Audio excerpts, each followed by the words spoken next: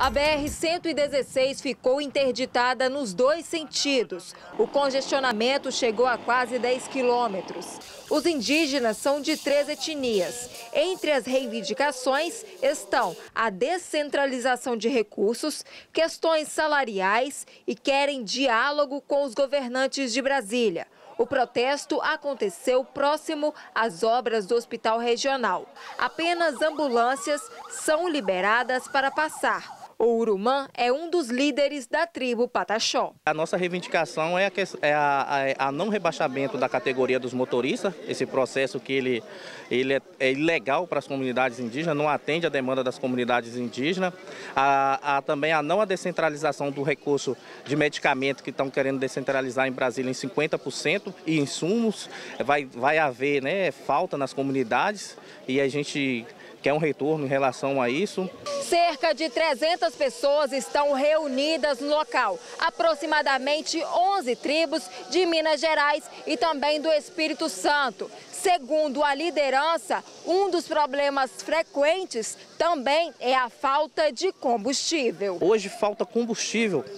Quando chega dia 20, as equipes de saúde não conseguem entrar dentro das comunidades indígenas para dar assistência porque não tem combustível. E é isso nós já fomos em Brasília várias vezes, já discutimos isso em outros cenários e nada é resolvido. Todo dia 20 as, a, a, a, os veículos da saúde indígena que é para atender, que é para as equipes lá dar o suporte, olhar aquela, aquela família lá que tem, que tem dificuldade de ir até a cidade, não consegue fazer esse, esse, esse serviço de saúde. Hoje os nossos indicadores do DICEI, eles são baixos, porque não tem, chega dia 20, a equipe não, não consegue nem fazer produção. E nós já fomos em Brasília várias vezes, já conversamos com vários secretários, com o atual secretário, e aí nada é resolvido. Tá aí, a gente está com imagens aqui desse protesto, essa manifestação dos povos indígenas que acontece no Odissei, né? Que representa Minas Gerais e Espírito Santo.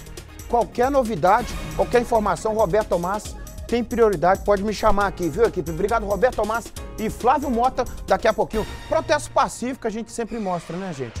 O protesto pacífico ele é legítimo, né? Não tem violência, não tem agressão, seja dos povos indígenas ou qualquer que seja a manifestação, a TV Leste dá voz e vez, né? Agora, se tiver violência no meio, aí a gente sai porque não é o objetivo é, do jornalismo da TV Leste. Então, a gente continua solidário aos povos indígenas, pelo protesto pacífico. Parabéns a eles pela manifestação pacífica.